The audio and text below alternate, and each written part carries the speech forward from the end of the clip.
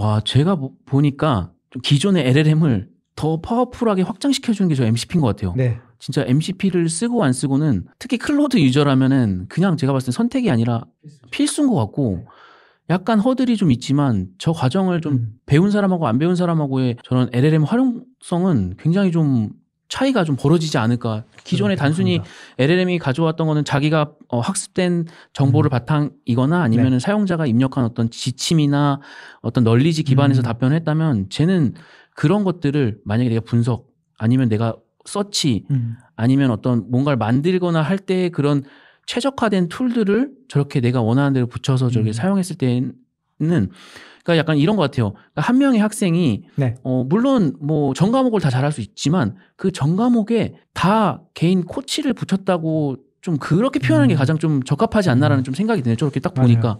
약간 MCP라는 건 제가 네. 해석하기에는 LLM은 어쨌든 이 context window라고 토큰 수의 제한이 있잖아요. 그러니까 내가 할 수 있는 일들을 모두 자기가 하기 시작하면 이게 하기가 어렵거든요. 여러 번 질문해야 되고 계속 단계별로 나눠야 되고. 근데 이게 MCP를 사용하면 나의 해야 될 일을 다른 친구한테 위임을 해버리는 거죠. 음. 아 이거 네가 해와.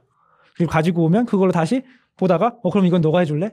계속 위임할 수 있는 거고 예를 들면 이런 것도 가능할 것 같아요. CSV 파일 같은 거, 그러니까 엑셀 파일 같은 걸 넣고 내가 만든 그 엑셀 파일을 분석할 수 있는 MCP를 만들어 놓으면 알아서 분석해서 데이터 가지고 그걸 음, 또 음. 다시 분석해주고 뭐 이런 용도로도 음. 활용할 수 있을 것 같고